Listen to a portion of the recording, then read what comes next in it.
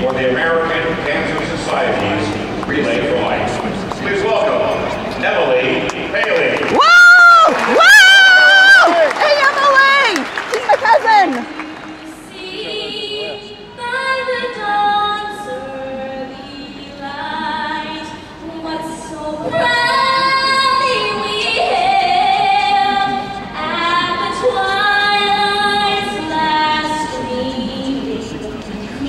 blood stripes and